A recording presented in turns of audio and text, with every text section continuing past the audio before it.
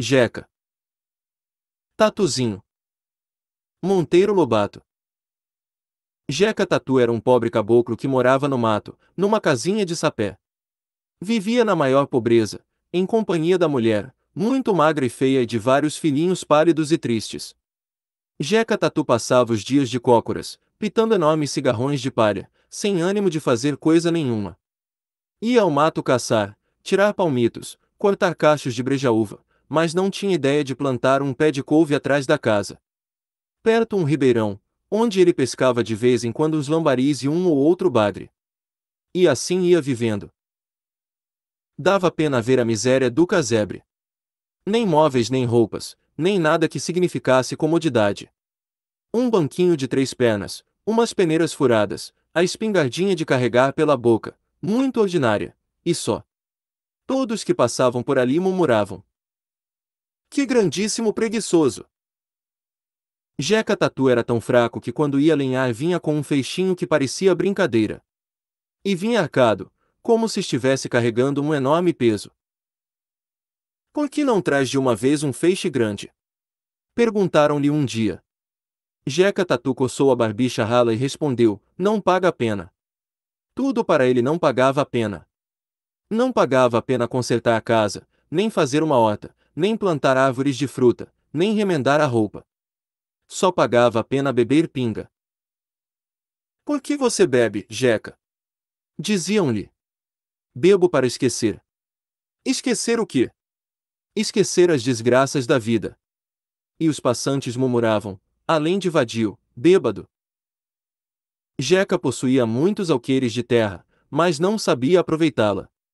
Plantava todos os anos uma rocinha de milho, outra de feijão, uns pés de abóbora e mais nada. Criava em redor da casa um ou outro porquinho e meia dúzia de galinhas. Mas o porco e as aves que cavassem a vida, porque Jeca não lhes dava o que comer.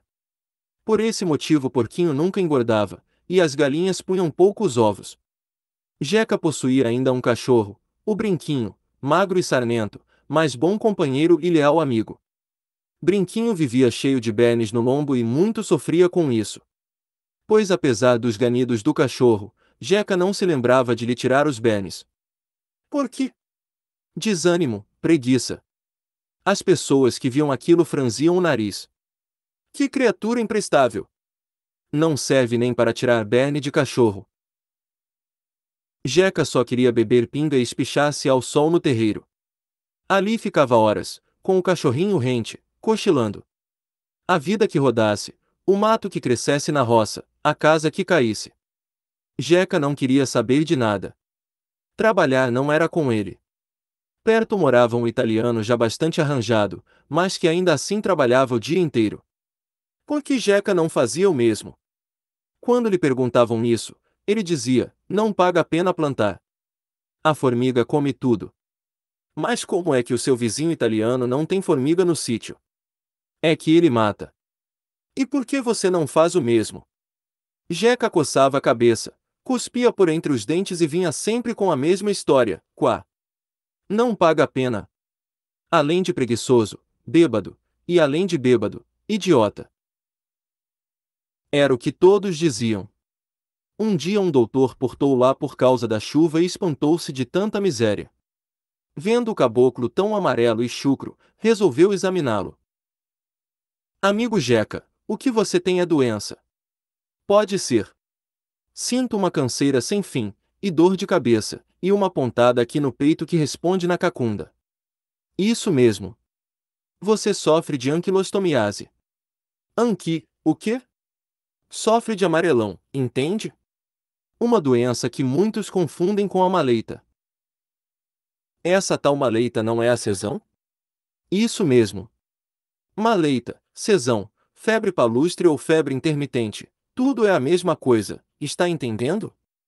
A cesão também produz anemia, moleza e esse desânimo do amarelão, mas é diferente. Conhece-se a maleita pelo arrepio, ou calafrio que dá, pois é uma febre que vem sempre em horas certas e com muito suor. O que você tem é outra coisa. É amarelão. O doutor receitou-se o remédio adequado, depois disse: E trate de comprar um par de botinas e nunca mais me ande descalço nem beba pinga, ouviu? Ouvi, sim, senhor. Pois é isso, rematou o doutor, tomando o chapéu. A chuva passou e vou-me embora. Faço o que mandei, que ficará forte, rijo e rico como o italiano.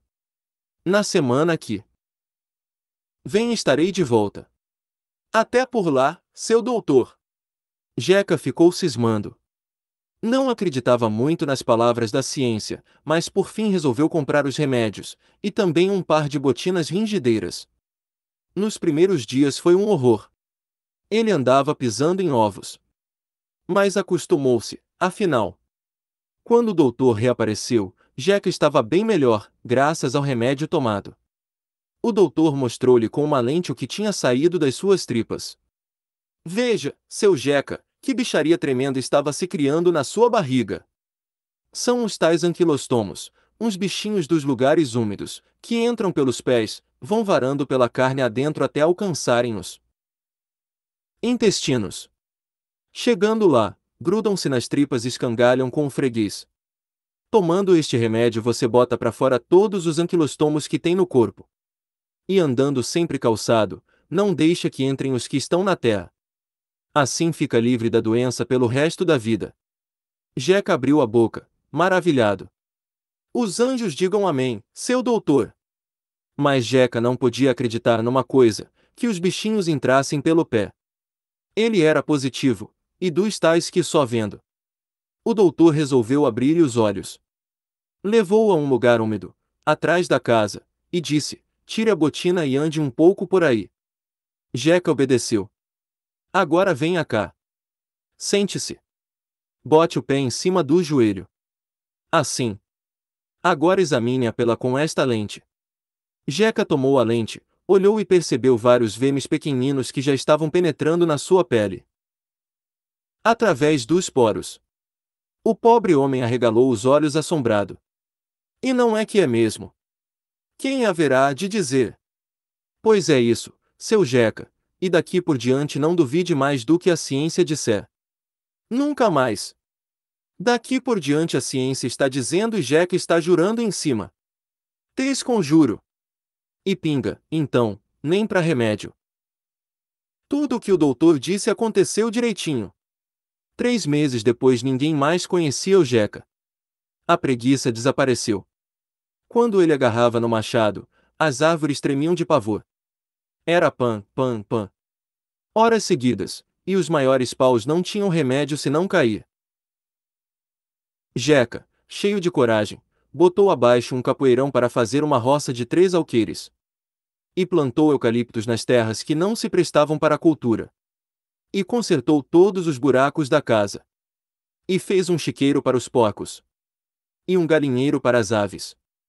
O homem não parava, vivia a trabalhar com fúria que espantou até o seu vizinho italiano. Descanse um pouco, homem. Assim você arrebenta. Diziam os passantes. Quero ganhar o tempo perdido, respondia ele sem largar do machado. Quero tirar a prosa do italiano. Jeca, que era um medroso, virou valente. Não tinha mais medo de nada, nem de onça. Uma vez, ao entrar no mato, ouviu um miado estranho. Onça! exclamou ele. É onça eu aqui sem nenhuma faca. Mas não perdeu a coragem. Esperou a onça, de pé firme. Quando a fera o atacou, ele ferrou-se tamanho murro na cara, que a bicha rolou no chão, tonta. Jeca avançou de novo, agarrou-a pelo pescoço e estrangulou-a conheceu, papuda. Você pensa então que está lidando com algum pinguço pilado. Fique sabendo que tomei remédio do bom e uso botina ringideira. A companheira da onça, ao ouvir tais palavras, não quis saber de histórias, azulou. Dizem que até hoje está correndo. Ele, que antigamente só trazia três pauzinhos, carregava agora cada feixe de lenha que metia medo. E carregava-os sorrindo, como se o enorme peso não passasse de brincadeira. Amigo Jeca, você arrebenta. Diziam-lhe. Onde se viu carregar tanto pau de uma vez? Já não sou aquele de dantes. Isto para mim agora é canja, respondia o caboclo sorrindo. Quando teve de aumentar a casa, foi a mesma coisa. Derrubou no mato grossas perobas, atorou-as, lavrou-as e trouxe no muque para o terreiro as toras todas. Sozinho. Quero mostrar a esta paulama quanto vale um homem que tomou remédio de insciência, que usa botina cantadeira e não bebe nenhum só martelinho de cachaça. O italiano via aquilo e coçava a cabeça. Se eu não tropicar direito, este diabo me passa na frente, perbacco. Dava gosto ver as roças do Jeca. Comprou arados e bois, e não plantava nada sem primeiro afufar a terra. O resultado foi que os milhos vinham lindos e o feijão era uma beleza. O italiano abria a boca, admirado, e confessava nunca ter visto roças assim. E Jeca já não plantava rocinhas como antigamente. Só queria saber de roças grandes, cada vez maiores, que fizessem inveja no bairro. E se alguém lhe perguntava, mas para que tanta roça, homem? Ele respondia, é que agora quero ficar rico. Não me contento com trabalhar para viver. Quero cultivar todas as minhas terras, e depois formar aqui uma enorme fazenda. E hei de ser até coronel. E ninguém duvidava mais. O italiano dizia, e forma mesmo. E vira mesmo coronel. Pela Madonna. Por esse tempo o doutor passou por lá e ficou admiradíssimo da transformação do seu doente. Esperara que ele sarasse, mas não contará com tal mudança. 15. Jeca o recebeu de braços abertos e apresentou-o à mulher e aos filhos. Os meninos cresciam viçosos, e viviam brincando contentes como passarinhos. E toda a gente ali andava calçada. O caboclo ficará com tanta fé no calçado, que metera botinas até nos pés dos animais caseiros. Galinhas, patos, porcos, tudo de sapatinho nos pés. O galo, esse andava de bota espora.